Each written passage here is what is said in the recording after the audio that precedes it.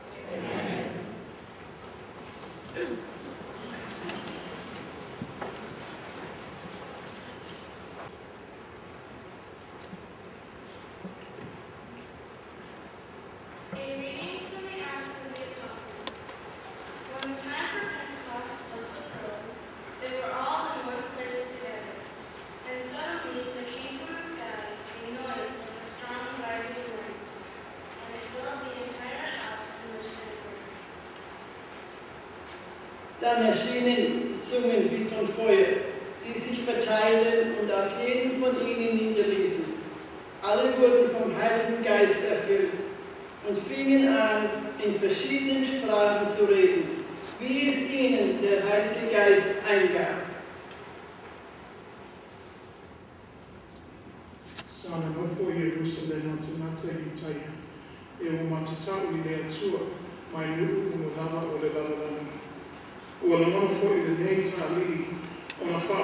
mtoto maelewa mmoto otomati ofilene ai ina ua taʻitaʻi ma faalogo atu ia te i latou o tautala mai i lana lalagamani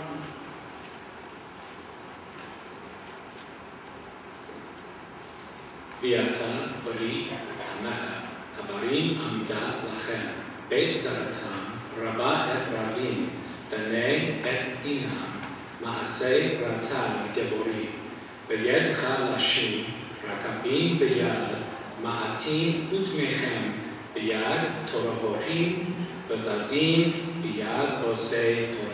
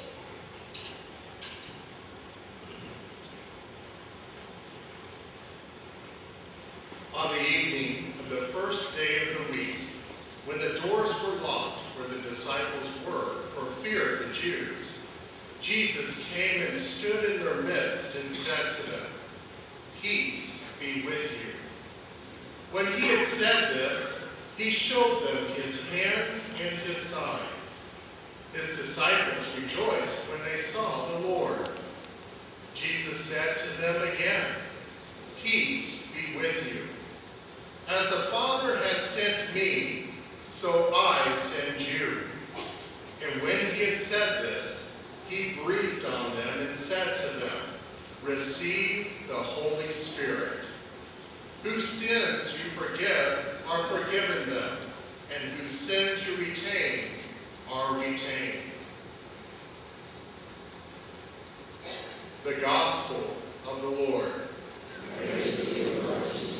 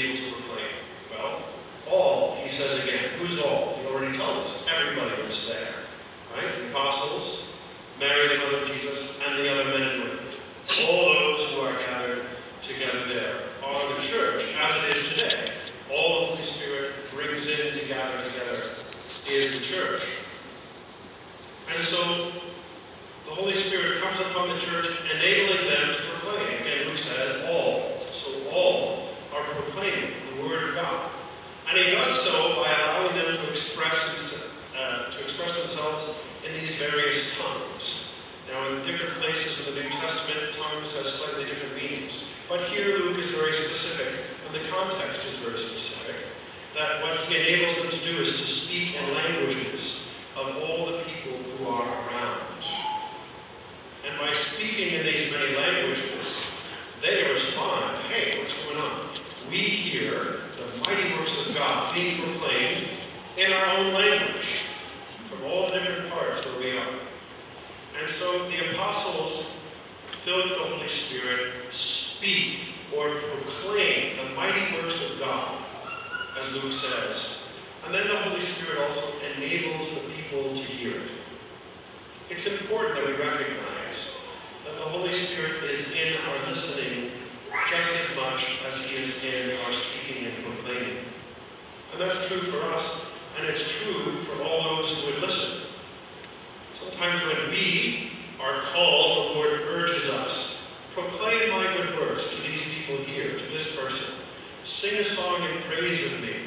We don't know what the Lord will do with that. He might do something amazing with it in the life of another.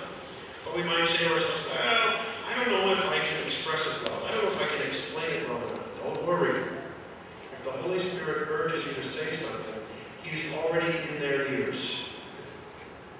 He's already helping assisting the listening of those He's sending you to. And so the Holy Spirit enables us to proclaim, and He enables anyone He wishes to, to hear.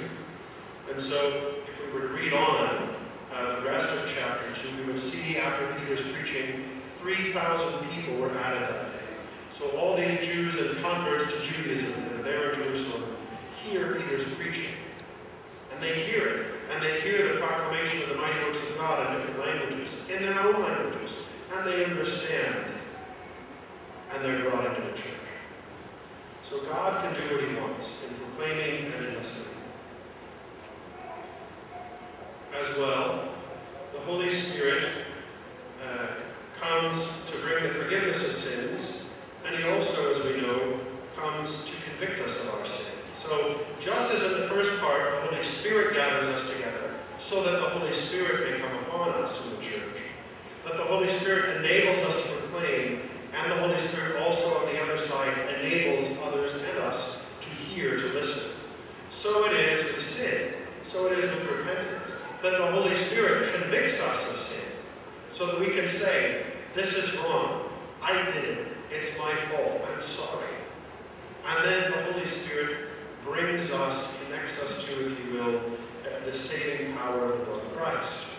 Just as Christ shed his blood on the cross, how do we have access to that blood?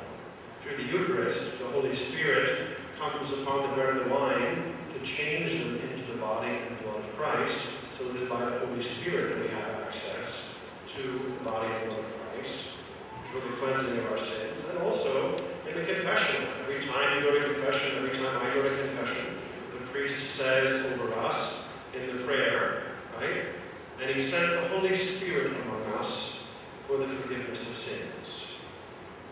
So the Holy Spirit comes to convict us of our sin, to help us to confess our sin, and the Holy Spirit then comes to apply the salvation of God to our soul. Again, the Holy Spirit's working from both sides. Gathering the church, blessing the church, speaking through the church, in the ears of those who are listening, convicting us of our sin, and helping us not only to repent, but to receive the full forgiveness and healing of God. Today is the Holy Spirit's day. But today, because of God's love and his gift of the Holy Spirit, today is also the day of the church. Why did God gather his apostles together and together with all those who were with him? Why is it that God teaches us or gives us the Holy Spirit to proclaim? Because that's who we are. It's the core mission of the church. To not just gather together so we can celebrate Jesus and then go home and not say anything, but so that we can be drawn together, blessed by the Holy Spirit, and be sent out into the world. We pray, and we ask the Holy Spirit to come and to renew the face of the earth. Well, just as is God's character, He doesn't like to do that without us. God is incredibly inclusive. God wants to include us in everything He's doing. So He says, Come to me, gather together, confess your sins, let me purify you so that you may be ready to not only receive my Spirit, but then go and do my work. And so we are swept up into the work of God. And that is the life of the church, that is the work of the church, that's the joy of the church.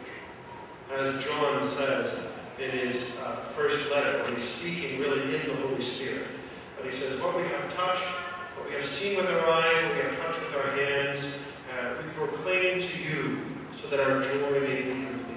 He's speaking about the word of life, that is Jesus Christ, God the Son among us, which he sees, which he hears, which he touches, and then which he proclaims, that his joy may be complete. So today is the Holy Spirit's day. What I'd like to do in the final part of the homily is this. Instead of speaking about the Holy Spirit, to ask us to open our hearts and let us speak to the Holy Spirit. We often pray to God the Father, we often pray to God the Son, we often ask Mary and the saints to help us in our prayers. It's important that we always also ask the Holy Spirit and speak directly to Him. So, open your hearts and let us pray to the Holy Spirit.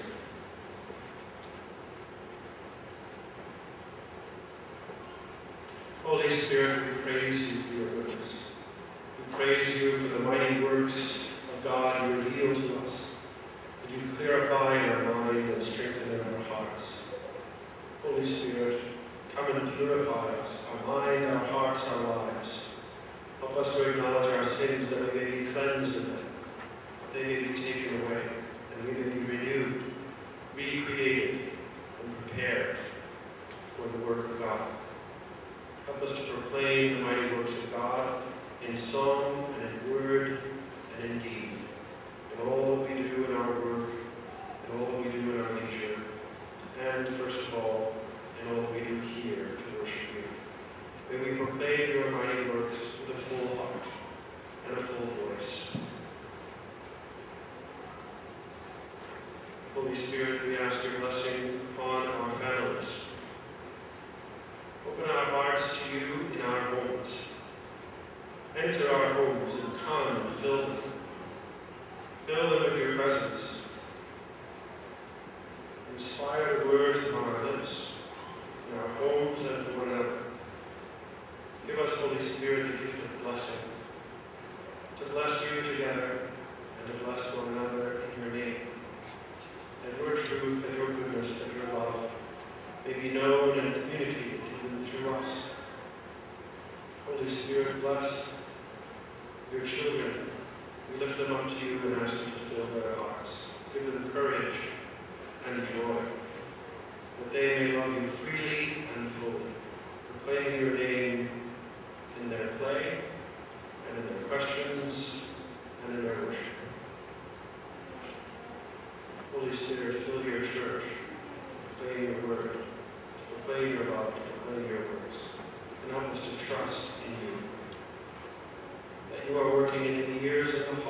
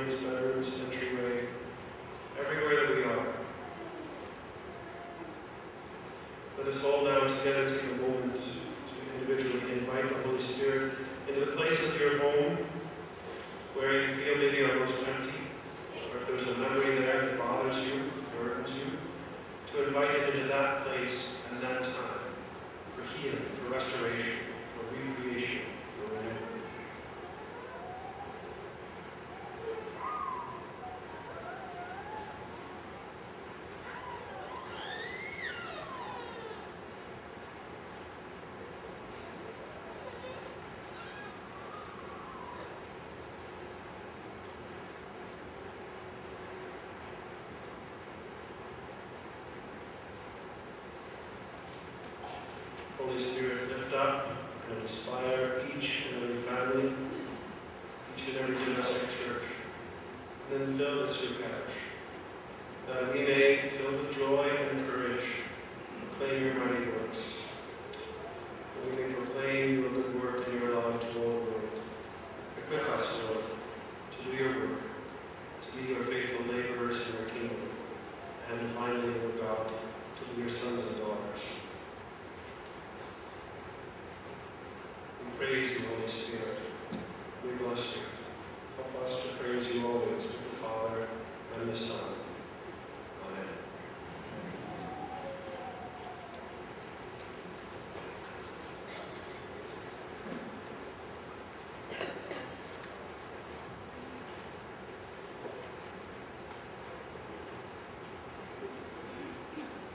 I believe in one God.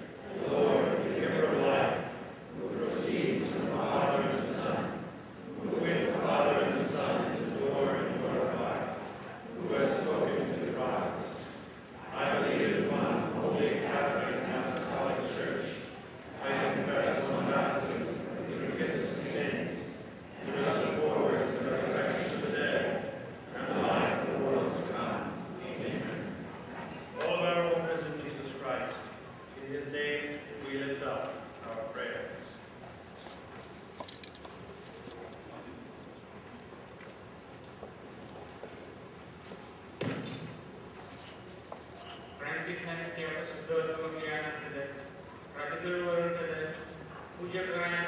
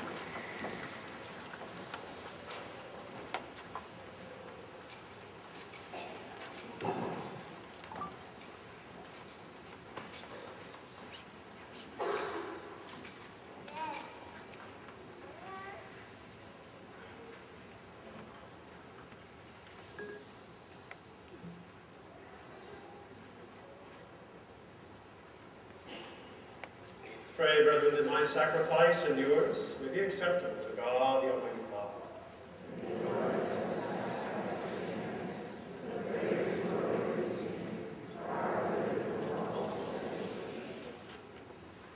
Grant, we pray, O Lord, that as promised by your Son, the Holy Spirit may reveal to us more abundantly the hidden mystery of this sacrifice, and graciously lead us into all truth through Christ our Lord. The Lord be with you. Lift up your hearts. Let us give thanks to the Lord our God. It is truly right and just, our duty and our salvation, always and everywhere, to give you thanks, Lord, Holy Father, Almighty and Eternal God.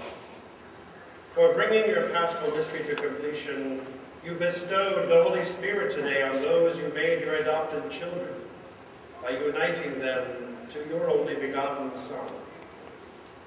This same Spirit, as the Church came to birth, opened to all peoples the knowledge of God, and brought together the many languages of the earth in profession of the one faith. Therefore, overcome with paschal joy, every land, every people exults in your praise, and even the heavenly powers with the angelic hosts sing together the unending hymn of your glory as they acclaim. Sanctus,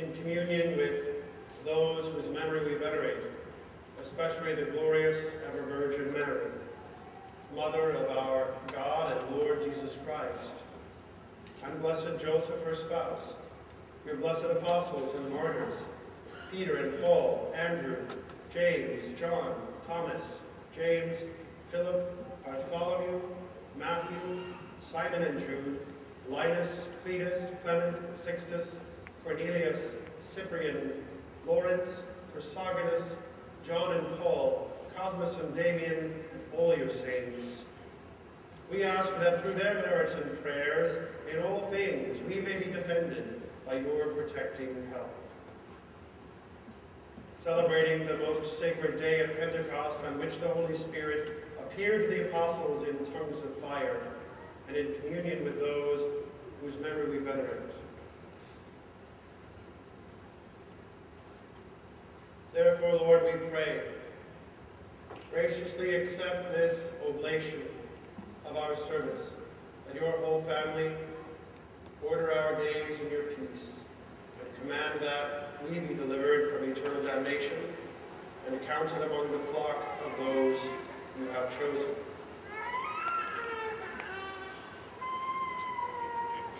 Be pleased, O God, we pray, to bless, acknowledge, and approve this offering in every respect.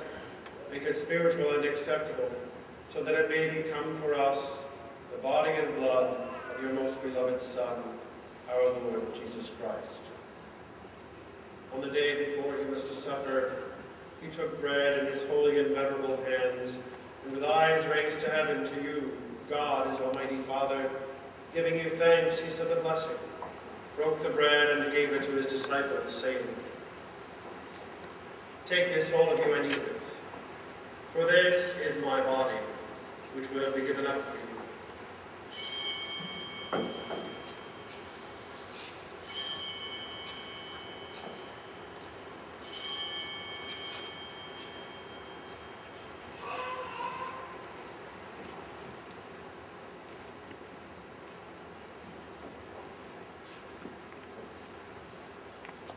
In a similar way, supper was ended, he took the chalice and took the chalice in his holy and venerable hands, and once more giving you thanks, he said the blessing and gave the chalice to his disciples, saying, Take this, all of you, and drink from it, for this is the chalice of my blood, the blood of the new and eternal covenant, which will be poured out for you and for many for the forgiveness of sins.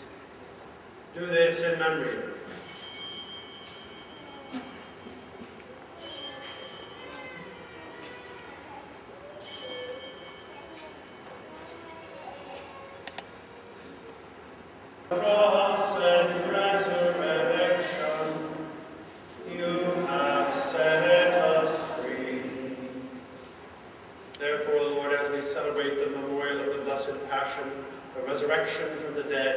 And the glorious ascension into heaven of Christ, your Son, our Lord, we, your servants and your holy people, offer to your glorious majesty, from the gifts that you have given us, this pure victim, this holy victim, this, this spotless victim, the holy bread of eternal life and the chalice of everlasting salvation. Be pleased to look upon this, these offerings with a serene and kindly countenance, and to accept them as once you were pleased to accept the gifts of your servant, Abel the just, the sacrifice of Abraham, our father in faith, and the offering of your high priest, Melchizedek, a holy sacrifice, a spotless victim. In humble prayer we ask you, Almighty God, command that these gifts be borne by the hands of your holy angel to your altar on high, in the sight of your divine majesty, so that all of us, who through this participation at the altar receive the most holy body and blood of your Son, may be filled with every grace and blessing.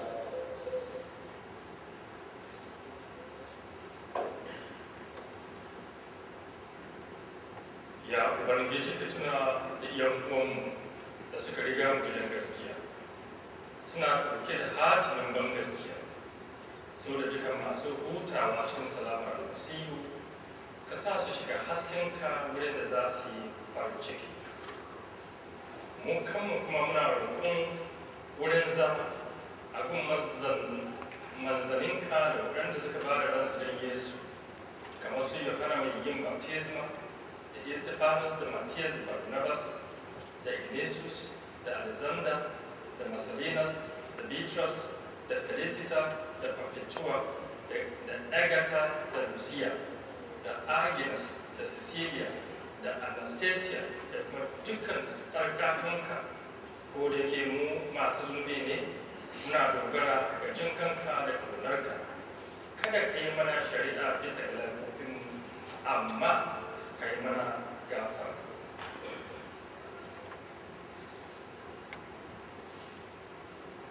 Through whom you continue to make all these good things, O Lord. You sanctify them, fill them with life, bless them, and bestow them upon us. O him and with him and in him, O God Almighty Father, in the unity of the Holy Spirit, all glory and honor is yours forever and ever.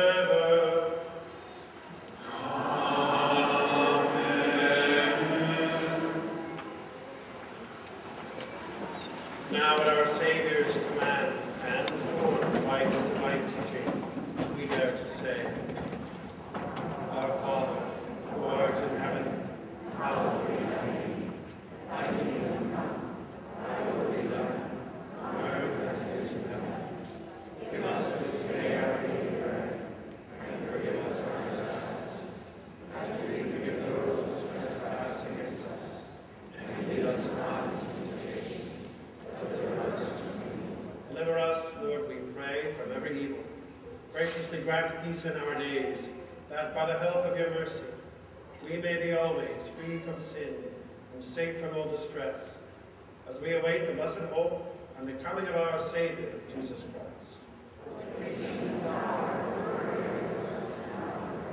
Lord Jesus Christ, who said to your apostles, Peace I leave you, my peace I give you.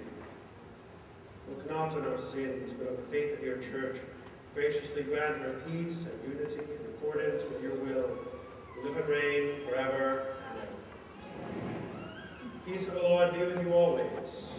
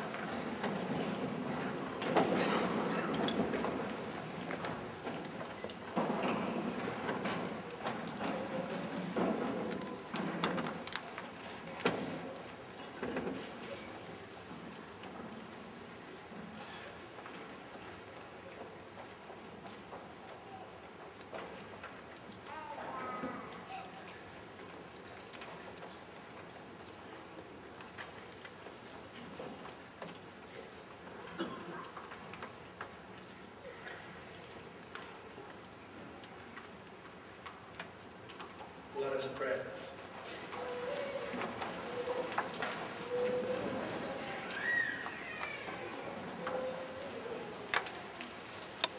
O God, who bestow heavenly gifts upon your church, safeguard, we pray, the grace you have given, that the gift of the Holy Spirit poured out upon her may retain all its force, and that this spiritual food may gain her abundance of eternal redemption through Christ our Lord. It's good to be with you on this Pentecost, and I was thinking actually, if, if when um, when the Jews and the uh, and the converts to Judaism went to Jerusalem, they were expecting to worship God. When the Holy Spirit came down upon the apostles and Peter began to preach, they got more than they bargained for. So if you're visiting Lake Havasu in the parish today, welcome. You expected to worship God, and maybe you got a little more than you bargained for. But we hope it was along the lines of the blessing that the, everyone received on the day of Pentecost. Uh, as well, uh, we're after this, we go. We're gonna go on straight over to Columbia Hall on London Bridge Avenue and celebrate there with continued festivities and uh, singing, a little bit of dancing, and most certainly food from all over the world. So you're most welcome to, to come and to join us and to give thanks to God for the many different varied cultures and languages, uh, uh, ways that we have of expressing and worship, or expressing our love for God and of worshiping Him. I guess I should say thank you to everybody who also helped with today. I'm not going to list names because I'll forget. But thank you so much.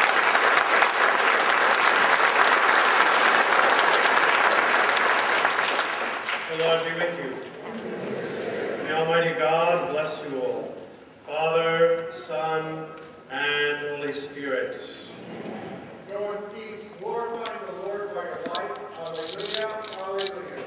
Thanks be to God. Hallelujah, hallelujah. Saint Michael the Archangel, defend us battle. Be our defense against the wickedness and snares of the devil. May God rebuke him, we humbly pray. And do now, O Prince of the heavenly host, by the power of God, cast into hell Satan and all evil spirits, prowl about the world, seeking the ruined souls.